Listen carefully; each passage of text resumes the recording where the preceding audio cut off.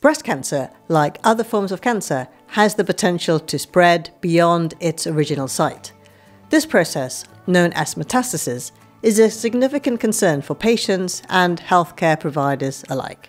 Today, I'm going to explore the ways by which breast cancer spreads, the pathways it uses, common sites of metastasis, the cellular processes involved, and what it means for staging and treatment. Hi, my name is Dr. Tasha, here to help you navigate the world of health in general and breast health specifically. So, how does breast cancer spread? Well, breast cancer can spread through three primary mechanisms. Direct invasion. This is when the cancer cells invade the surrounding tissues directly. This local invasion allows the tumour to grow into nearby structures, such as the chest wall or skin. The lymphatic system. This system is a common route for breast cancer metastasis. Tumour cells can enter the lymphatic vessels near the primary tumour and travel to nearby lymph nodes, often under the arm, known as the axillary lymph nodes or armpit nodes, but also potentially to nodes in the chest or the collarbone area. Then there's the bloodstream. So cancer cells can enter blood vessels and circulate through the bloodstream. This hematogenous spread allows cancer cells to lodge in capillaries of distant organs such as the liver, lungs, as well as bones. So, what enable cancer cells to spread to other parts of the body? At the cellular level, the process of spread is actually quite complex and it is a multi step process. So, first, there is detachment and invasion. What happens is that cancer cells will break away from the primary tumour. And this detachment is helped by changes in the cell adhesion molecules such as E-cadherin, which normally keep cells bound together.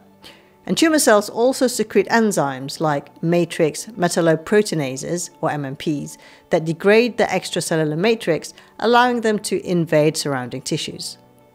Then there is intravasation. So once they detach from the primary site, cancer cells can then enter nearby blood or lymphatic vessels, and they achieve this by penetrating the vessel walls a process that involves further breakdown of the extracellular matrix and interactions with the endothelial cells lining the vessels. Now we go to circulation. Because once in the bloodstream, cancer cells must survive the shear stress and immune surveillance. They may travel as single cells or clusters, sometimes protected by platelets that shield them from the immune system. Then we have extravasation, Cancer cells exit the bloodstream or lymphatic vessels at distant sites, and this involves attaching to the vessel walls, penetrating the endothelial barrier, and invading the surrounding tissue. And then lastly, there is colonization. At the new site, cancer cells they have to establish a microenvironment conducive to their growth. And this involves angiogenesis, which is formation of new blood vessels, evasion of the local immune response, as well as interaction with the surrounding stroma or the supportive tissue. And this is how cancer cells from the primary site can then end up in distant sites. And breast cancer commonly metastasizes to these following sites. It can go to the bone, and if it's affected, it can lead to pain and fractures.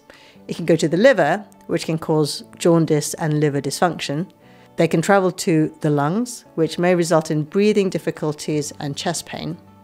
Another side it can go to is the brain, and this can cause neurological symptoms like headaches, seizures, and cognitive impairment. A common question I get asked is what is staging? And essentially, staging in breast cancer refers to the extent of cancer spread and is crucial for determining treatment and prognosis. And the stages ranges from 1 to stage 4. So, stage one is when the cancer is confined to the breast and it's usually small. Stage two is when the cancer may have spread to nearby lymph nodes but not to distant sites. Stage three is where there is more extensive involvement of nearby lymph nodes or direct extension to surrounding tissues. And lastly, there is stage four cancer. And this is where the cancer has spread to distant organs, also known as metastatic breast cancer. Now, can stage 4 breast cancer be cured? Stage 4 breast cancer or metastatic breast cancer is generally considered incurable with current medical technology. However, it is treatable, and treatments aim to control the disease to alleviate symptoms and prolong life. Advances in targeted therapies, hormone treatments, immunotherapies, and chemotherapy have improved outcomes and quality of life for many patients. And the goal is often to manage cancer as a chronic condition, maintaining the best possible quality of life. Now, understanding how breast cancer spreads is essential for developing effective treatment strategies and improving patient outcomes. The spread of cancer involves intricate cellular mechanisms and multiple pathways with common sites of metastasis, including bone, liver, lungs, and brain. And staging provides a framework for assessing the extent of the disease and guiding treatment decisions.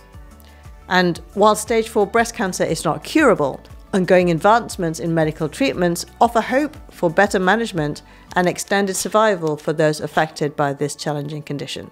I hope this has been helpful and I'll see you in the next video.